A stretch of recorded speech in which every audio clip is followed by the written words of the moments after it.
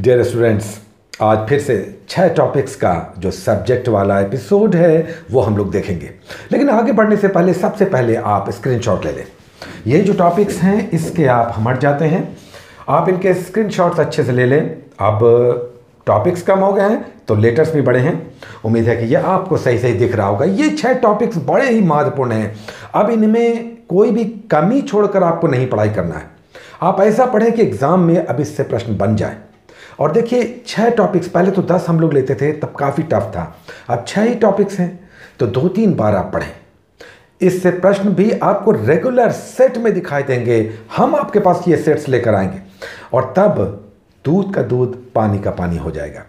तो हमें अब किसी तरह के कोर कसर नहीं छोड़ना है इस अपनी तैयारी में, ताकि एग्ज़ाम में हमारे लिए बेस्ट ऑप्शंस हो, हम सही सही आंसर कर पाएँ। अब आज का जो टॉपिक है, वो है हिस्ट्री का पहला टॉपिक मध्य एशिया से संपर्क। यानी सेंट्रल एशिया से किस तरह से भारत का संपर्क बना कौन कौन से जो इन्वेडर्स थे, आक्रमणकारी थे, वो किस रूप में आए क्या क्या इन्होंने किया, किस तरह से उत्तर पश्चिम में उन्होंने शासन किया, फिर उत्तर भारत में इन करने का प्रयास किया। इंडो यूनानी कौन थे, किसने सबसे पहले सोने के सिक्के जारी किए, किसने पाँच पाँच शाखाओं में भारत में शासन किया, किसने कैलेंडर चलाया कौन ऐसा था जिसने भारत में एक नया कैलेंडर चलाया? तो ये सब आप, बहुत सारे इसमें फैक्ट्स हैं। ये आप सेंट्रल एशिया से मध्य एशिया से विदेशियों का जो संपर्क भारत से हुआ, ये बड़ा सेक्शन है, जो मौर्योत्तर काल की सबसे महत्वपूर्ण घटनाक्रम है।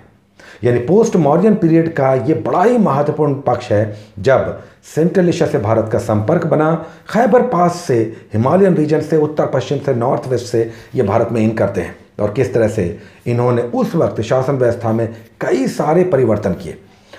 दूसरा सेक्शन हिस्ट्री का एगेन हम लोगों ने कल नरम दल किया था 1905 तक। बहुत सिस्टम से चल रहा है, आप इसे अगर अच्छे से कर लेते हैं तो आपको क्रोनोलॉजी आपको फील होगा, आपको लगेगा कि इसके बाद ये घटनाक्रम है। 1905 से लेकर 1917 तक। 1917 तक क्यों? 1905 ही क्यों?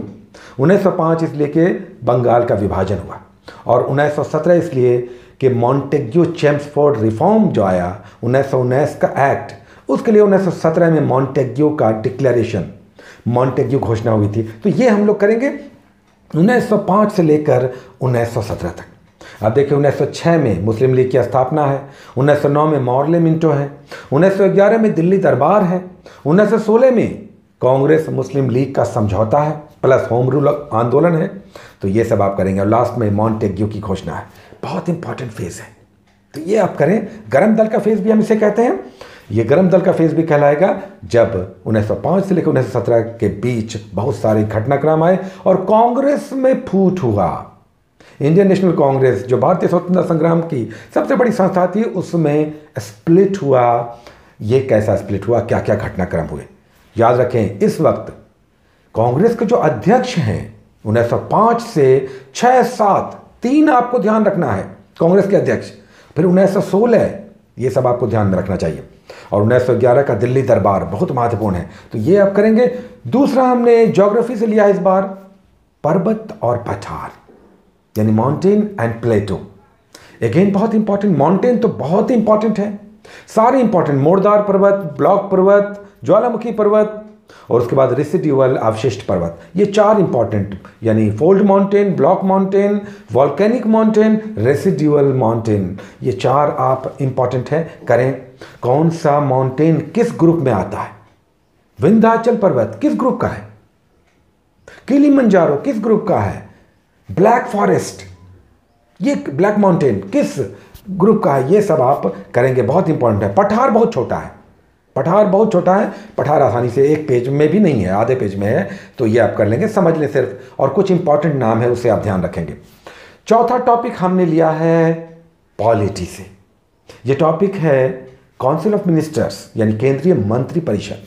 देखिए अगेन बहुत important cabinet ministers deputy ministers उप मंत्री, स्वतंत्र प्रभार, ये सब क्या है? इंडिपेंडेंट जो डिपार्टमेंट्स मिलते हैं मिनिस्ट्री वो सब कैसे मिलती है, किसको मिलती है, क्या होता है, किस अनुच्छेद में है आर्टिकल्स इंपॉर्टेंट को भी आपको ध्यान में रखना चाहिए। और प्लस इसमें सबसे इंपॉर्टेंट वो है प्राइम मिनिस्टर बहुत बहुत इंपॉर्टेंट प्राइम मिनिस्टर के सेक्शन को आप अच्छे से आप करेंगे इसमें। तो ये बड़ा इंपॉर्टेंट सेक्शन है और पांचवा सेक्शन है साइंस का। ये हमने लिया है विटामिन और डिजीजेस यानी विटामिन और मानव रोग। अब देखिए विटामिन के सारे केमिकल जो नेम हैं, वो आप ध्यान रखेंगे। प्लस किस विटामिन की डेफिशिएंसी से कौन सा रोग होता है? किस विटामिन को हम क्या कहते हैं? ये सब महत्वपूर्ण है। प्लस किस जो रोग है डिजीजेज है, ये अलग से आपको करना है कि कौन सा डिज़ीज़ वायरल है बैक्टीरियल है फंगल है प्रोटोजोन तो ये सब आप ये करेंगे डिज़ीज़ पर। बहुत इंपॉर्टेंट है वेरी वेरी इंपॉर्टेंट इसे आप बहुत अच्छे से करें। एक दिन में नहीं होगा ये। ये आप कर लें और बार बार इसे रिवीजन करेंगे। तो ये होगा। और बिहार में लास्ट में पांचवा सेक्शन बिहार का है। ये है बिहार में स्वदेशी और क्रांतिकारी गतिविधियाँ। स्वदेशी आंदोलन और क्रांतिकारी गतिविधियाँ। बिहार के संदर्भ में स्वदेशी और जो बंगाल विभाजन हुआ, स्वदेशी मूवमेंट जो चला तो बिहार पर इसके रिपरकशंस क्या थे? और दूसरा ये कि बिहार में क्रांतिकारी आंदोलन का क्या प्रभाव पड़ा? बंगाल, महाराष्ट्र, पंजाब, इन सब क्षेत्रों में तो था ही। बिहार पे इसका जो रिवोल्यूशनरी मूवमेंट था, बिहार पे उसका क्या इम्पैक्ट पड़ा? उन्नीस सौ पाँच के आसपास का आप करें। तो ये आप कर लें। बहुत बहुत इंपॉर्टेंट सेक्शंस ये हैं। टाइम दें, थोड़ा सा मन लगा कर। करें इसका बेनिफिट आपको मल्टीफोल्ड मिलेगा। ऐसी मेरी आशा तो आज के इस सिक्स टॉपिक्स को यहीं पर रोकेंगे। आप इसे अच्छे से करें। इस पर टेस्ट्स भी लगातार आएँगे। अब आएँगे रेगुलर आएँगे। हमारा प्रयास है। शेड्यूल थोड़ा टाइट हो जाता है। कई सारे घटनाक्रम सामने आ जाते हैं। लेकिन इस पर टेस्ट सीरीज़ भी आते रहेंगे। और करंट का जो सेक्शन चल रहा था, वो भी रेगुलर आपको आएगा। आप सब कुछ आएगा। Take care